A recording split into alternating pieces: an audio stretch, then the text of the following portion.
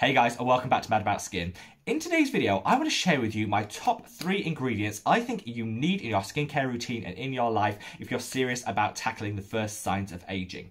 Maybe you start to see those fine lines and wrinkles appear, maybe there's some sun damage and discoloration to the skin, maybe you feel like you've left it a bit too late to counteract some of the aging that's already accumulated. Do not fear, because I have some standout ingredients which if you include in your skincare routine can genuinely turn back the clock, revitalize our skin and give us that youthful appearance we all crave. So if you're interested in finding out a little bit more, keep on watching.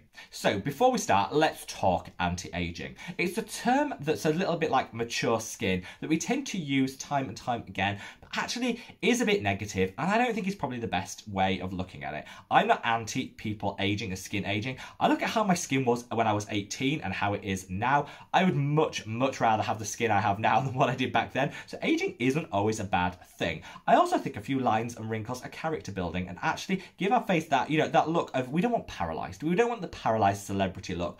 No one's about that. We want to look like we've actually enjoyed life and lived in life. So many times I hear people saying, try not to smile and try not to show too much emotion because those that'll create wrinkles and obviously that'll age the skin. What a load of rubbish. Why would we not want to smile? Why would we not want to express ourselves? Load of old rubbish. I say embrace, you know, the changes that age brings, the good and the bad. Let's just embrace them. But there are a few ingredients that we can incorporate into our skincare routine to maybe just, you know, take around the edges, nibble away at the edges of some of that aging and keep our skin looking fantastic, snatched and gorgeous for as long as possible. I'm not going to include SPF in this list because I know, I know, it's a given. Whether you're looking at anti-aging or whether you're looking at, you know, tackling acne or whatever your skin complaint, you should have an SPF in your skincare routine. It's not specific to an anti-aging routine, so I don't want to include it in this specific video. There are so many amazing tried, tested and verified SPFs out there.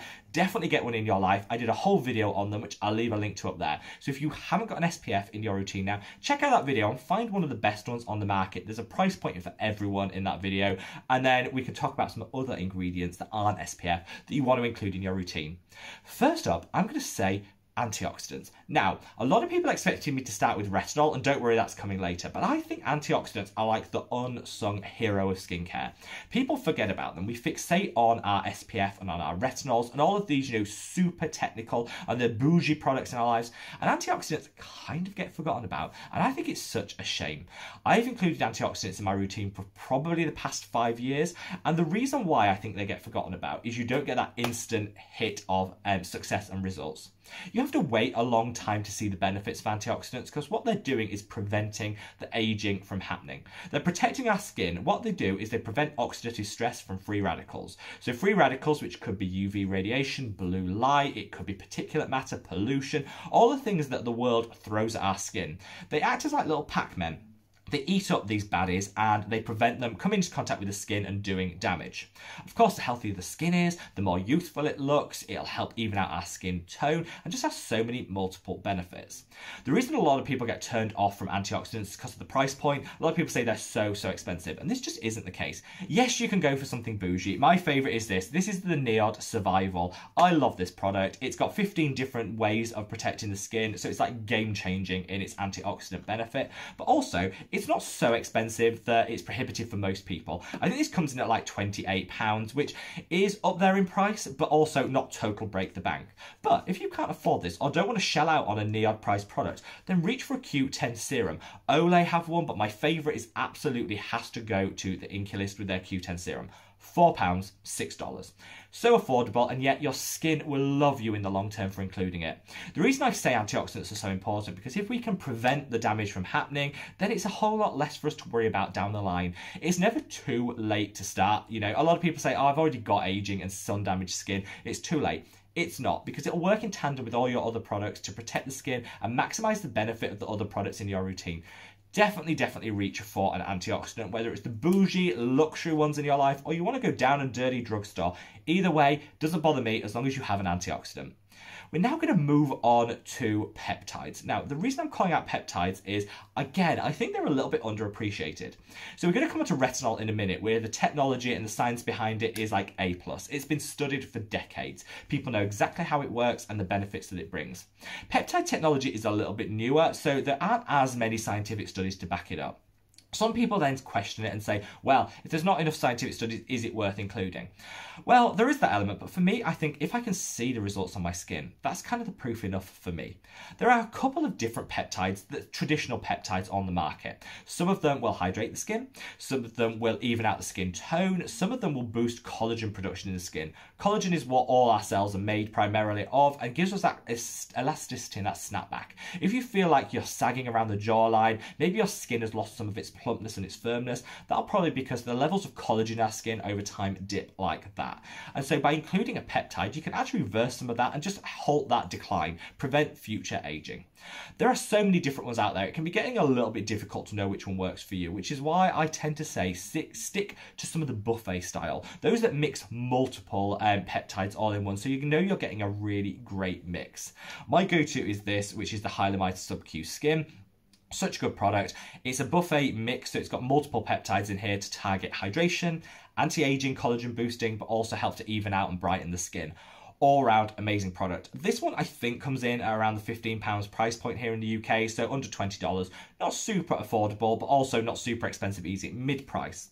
A little bit on the bougier side is the NIOD Copper Amino Isolate. This is like for the hardcore anti-agers amongst us because the delivery technology in this takes the um, copper peptides which are going to produce that collagen directly to where they're needed to go to do the work. So if you are super serious about um, your anti-aging, this would be the product I'd reach for. So, so good. And you'll see results probably in about two weeks, which is really good for a topically applied product.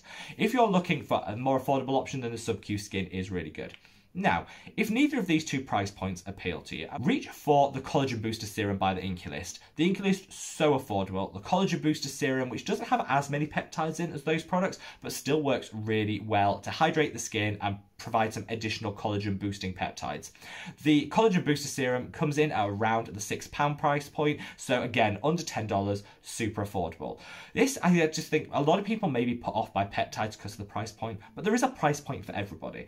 There's an element of you get what you pay for with them. You know, the more you pay, generally, the better technology you'll get, but just include a peptide in your routine, and honestly, your skin will love you for it. It'll look more plump, more hydrated, and of course, it'll even out those fine lines and wrinkles. Now, my third recommendation for must-have ingredients has to be retinol. No video on anti-aging would be include would be fair without a retinol included. The reason retinol works so well for anti-aging is because it's not talking about delaying aging. You know, we've talked the peptides and the antioxidants, they're going to delay and prevent future aging for those people who have already accumulated aging, and we start accumulating that in our 20s, so you know, you might not be showing the signs of it, but your skin knows about aging. And for those of you that have worried that maybe you've left it a bit too late, retinol will be your savior. So, retinol, retinols, retinyl palmitate, retinaldehyde, all the vitamin A derivatives work in a similar way, though they have different potencies. They work by um, triggering the skin to turn over the cells quicker. So your cellular turnover increases, which means that fresher skin comes to the surface. You look more youthful, your skin looks more glowy and fresher. Fantastic. It also triggers collagen to be produced. We talked about collagen earlier. The more collagen we have in our skin, the more elastic our skin looks, and the plumper and the fuller our skin looks. All these things are absolutely fantastic. I love retinol. In fact, I did a whole video on how to introduce retinols into your routine and get the most out of them, which I'll leave a link to up there because it's worth checking that video out for the right retinol for you, but also to make sure you're using it correctly. Some of my go-to at the moment, I'm using this. This is Differin Gel, I don't read me to fill for the fact I've cut the cap off to get the last little bit out of it. It's expensive. I paid for it. I want to get my most out of it. But this is so good. This is a adapalene, which is great if you have acne, but also great for anti-aging. So this is the one I'm using at the moment. You guys know I love the Inkey List Retinol, which is a mid-strength retinol, much more gentle, but works so good in the long term. And I've recently been trying this product. This is Striata, which is their night cream with encapsulated retinol. This is super gentle. I've been using it for about a week and it is so good on the days that I don't use my prescription strength retinol. It's much more gentle than many others on the market. So if you're worried about not being able to um, use a retinol, because this is encapsulated, it's a delayed release. So you don't get that hit the second you use it, which means it's much more applicable for people with sensitive skin that maybe are a bit scared to try retinol for the first time. This is a great, great option. I'll leave links to all of these products below in case you do want to check them out. Retinol is a must and people are scared because you do get redness, irritation and peeling when you first introduce it. That's just its mechanism of action getting to work on the skin. You can minimize all of this by um, following a few simple rules, which I linked in the video earlier, so check that video out with some hints, tips and hacks for how to avoid it, and by choosing the right one for your skin type. But whatever your skin type, there is one out there for you and make sure you include it in your skincare routine. If you mix these three products together and then slap on an SPF to end, your skin will be protected to the gods, it'll glow to the gods, and you will notice over a period of about two months a noticeable improvement in the youth and the vitality of the skin. These things are all great. You're not going to be able to deliver that Botox paralyzed face look. I don't think we want that. That's very 90s. That was very much the 90s look. No one wants that anymore. We want to age with grace and dignity, which, well, forget the dignity. I'm not too bothered about that. Just grace. You want the skin to look its best for the age that you are. You don't want to look, you know, 18 when you're 40. Ain't to happen. But including these products in my routine has shown a real improvement in the plumpness of my skin, the um, elasticity of my skin, and I've noticed those crow's feet that I was starting to see around the eye have really diminished. So honestly, include these three holy grail ingredients in your routine and you'll see such a benefit in terms of the um, age of your skin. Now, wherever you are in the world, guys, I hope you're staying safe and well. Love your skin, whatever age you happen to be. Let's love the skin that we're in and leave me a comment with any other holy grail items that you have. Wherever you are in the world, guys, stay safe, stay well, and I look forward to seeing you in the next video. Take care. Bye.